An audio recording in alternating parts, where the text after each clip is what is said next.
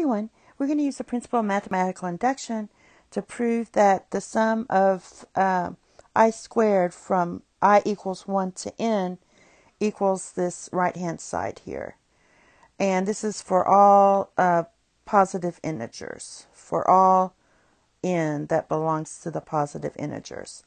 Now, if we want to, let, we can write this out a little bit so it's not so intimidating.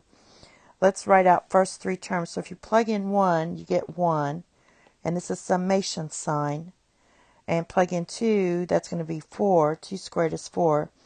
Plug in 3, you get 9. So um, it's just your sum of your squares. And then plug in n for the last term and that equals that. They just wrote it. This is the expansion of the condensed form with the summation sign.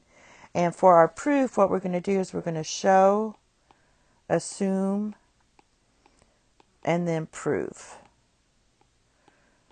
And we're going to start with showing that um, step one is to show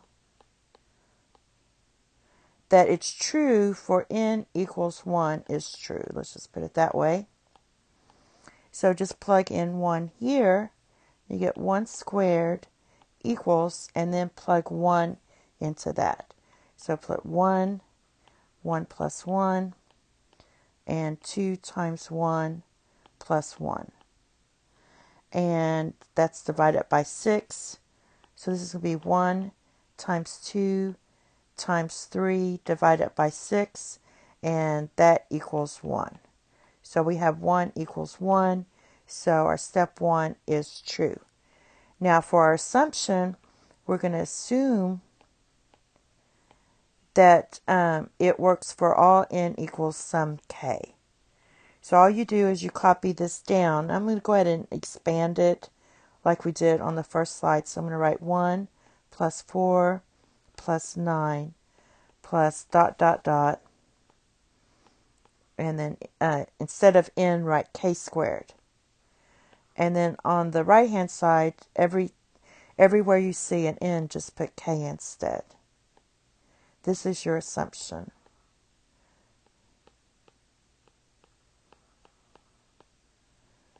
all right now you're proving you're going to prove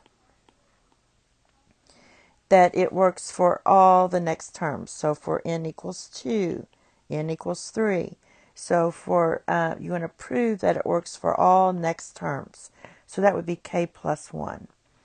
Now how you start with that is you're going to write this out.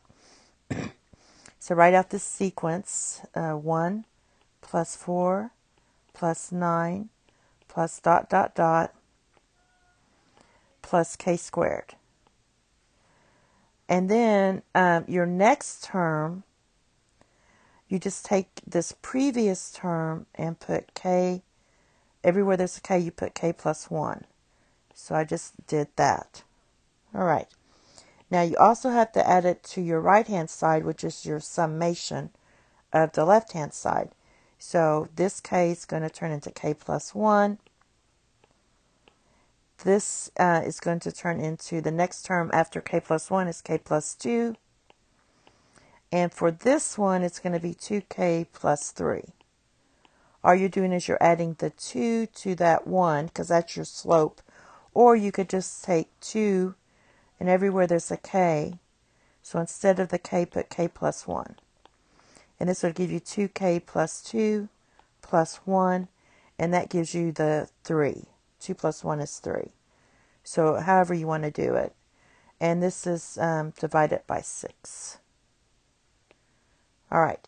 Now that you did that, what we want to do is um, prove this. And we already know what this equals. This equals um, this from our assumption line. So that's going to be k times k plus 1 times 2k plus 1 divided by 6. And then you're going to add this part. k plus 1 squared divided by 6. Well, we don't have any division. So basically, to have the common denominator, we're going to put a 6 here and a 6 here. Now, all we have to do is to simplify this numerator and um, make it look like this right-hand side here. So I'm going to take care of that. Uh, I'm going to copy this down again. So we have, um, let me see, we have k times k plus 1 times 2k plus 1. And then we have um, the plus 6 times k plus 1 squared divided by 6. And um, I'm going to go ahead and write what all this should equal. This should equal k plus 1, k plus 2, times 2k plus 3 divided by 6. All right. Now, um, for the algebra here, instead of simplifying all the numerator, let's look what we have. This is our final answer that we want it to look like. And you notice that we have a k plus 1 here.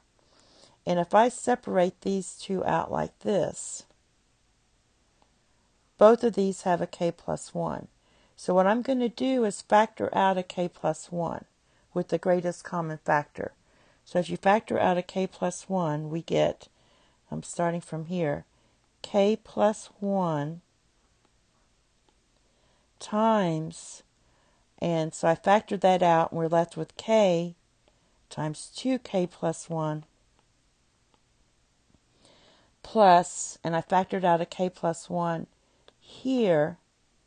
So now I just have 6 times k plus 1 left. When you think about it, if you um, distribute this back, you would get back to the original. So we just factored that out. Now let's simplify this part. So now we have k plus 1 times, so this part's going to be 2k squared plus k. And this part's going to be 6k plus 6. Now simplifying that, oh, by the way, all of this is all over 6 all the time. All right, so factoring, cleaning that up, we get 2k squared plus 7k plus 6 divided by 6.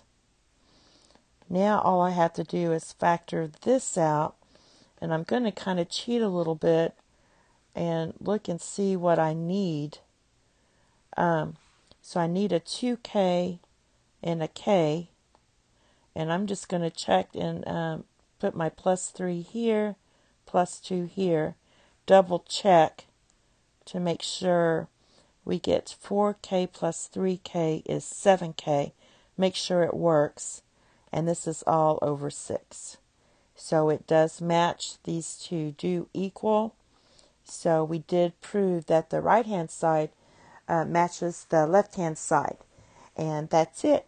Thank you. Have a nice day. Bye bye.